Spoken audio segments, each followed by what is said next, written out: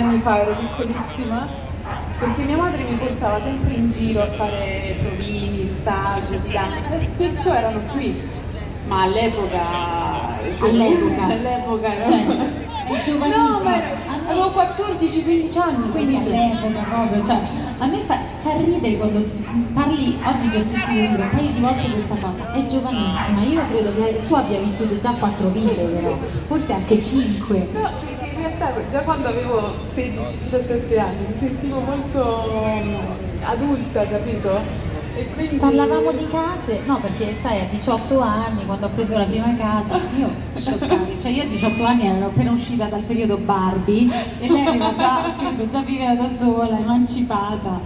Infatti siamo qui e festeggiamo i tuoi primi dieci anni di carriera. Che effetto fa? Eh, eh, sono passati 10 anni. Ah, sì?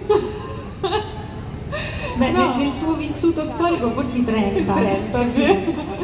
No, sono, sono molto felice. In realtà questi anni sono, sono passati velocemente perché quando cerchi di, ehm, di raggiungere il tuo obiettivo, il tuo sogno, eh, il tempo passa velocemente perché tu raggiungi quel sogno, però soprattutto come sono fatta io, cerco già, penso già a, che- a quello che verrà, no? a quello che vorrei fare poi successivamente, il che non è un bene perché non riesci poi fondamentalmente a goderti quello che stai vivendo in quel momento. Io no, già penso a quello che dovrò fare, quindi su questo sto lavorando.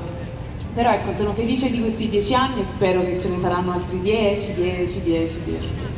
Ma quando come te insomma si cresce